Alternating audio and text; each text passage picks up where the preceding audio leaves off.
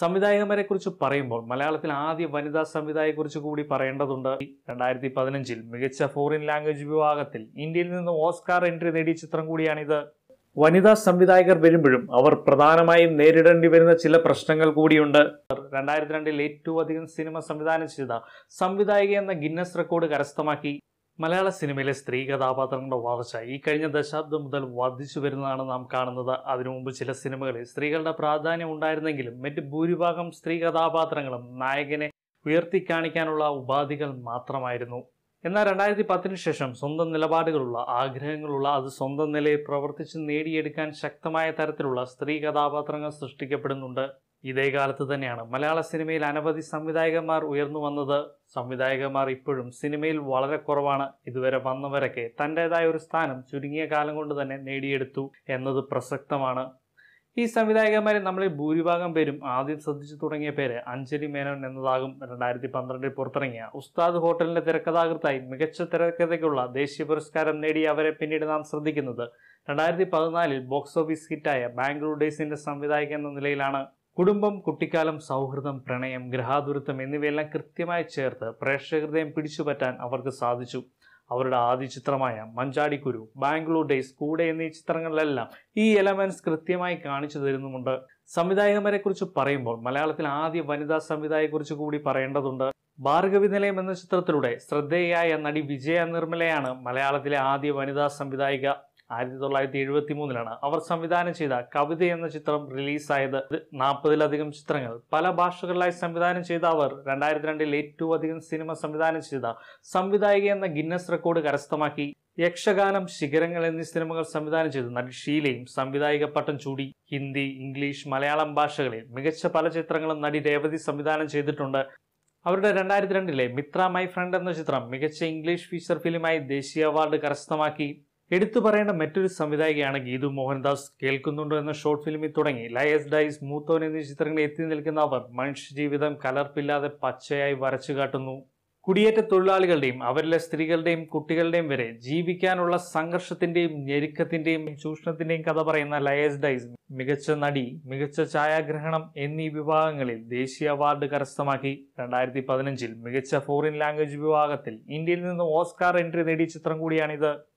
രണ്ടായിരത്തി പത്തൊമ്പതിൽ ഇറങ്ങിയ മൂത്തൻ ഒരു മികച്ച സിനിമ തന്നെയാണ്. പ്രണയത്തെക്കുറിച്ചും ജെൻഡർ ഐഡന്റിറ്റിയെക്കുറിച്ചുമുള്ള സമൂഹത്തിന്റെ കൺസർവേറ്റീവായ ചിന്താഗതിയെ കൃത്യമായി ചോദ്യം ചെയ്യുന്നുണ്ട് ഈ സിനിമ.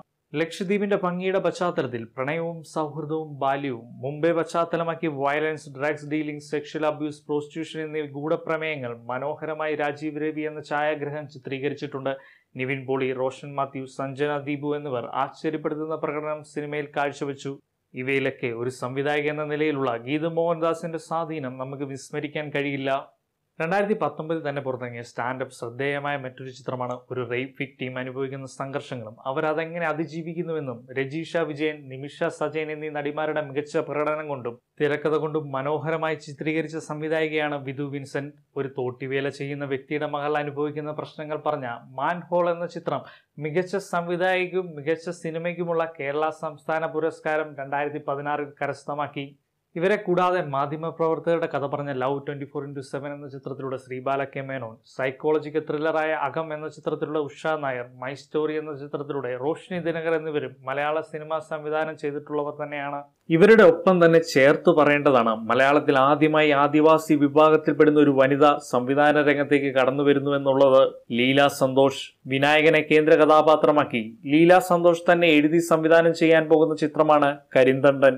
വനിതാ സംവിധായകർ വരുമ്പോഴും അവർ പ്രധാനമായും നേരിടേണ്ടി വരുന്ന ചില പ്രശ്നങ്ങൾ കൂടിയുണ്ട്.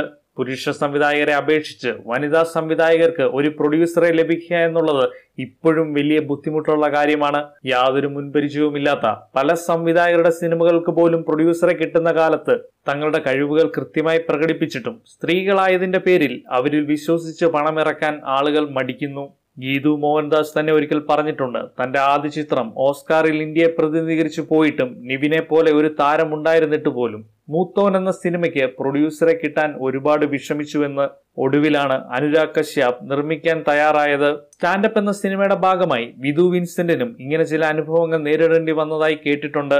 കൂടുതൽ വനിതാ സംവിധായകരുടെ കടന്നുവരവിന് ഈ ഒരു വിവേചനത്തിൽ മാറ്റം വരേണ്ടത് അനിവാര്യമാണ്.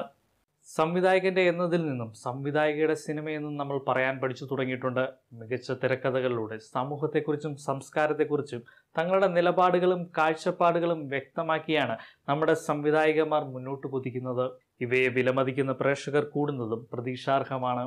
പ്രേക്ഷകരോട് ചോദ്യം നിങ്ങളുടെ ഇഷ്ട മലയാള സംവിധായക ആര്? ഉത്തരം കമന്റായിട്ട് എഴുതുമല്ലോ. ഈ വീഡിയോ ഇഷ്ടമായി ഞങ്ങളുടെ സബ്സ്ക്രൈബ് ചെയ്യുക ബെൽ ബട്ടൺ ഓൺ ആക്കി നോട്ടിഫിക്കേഷൻ ഓൺ ചെയ്ത് വെക്കുക. അപ്പോൾ വീണ്ടും മറ്റൊരു വീഡിയോയുമായി കാണുന്നവരെ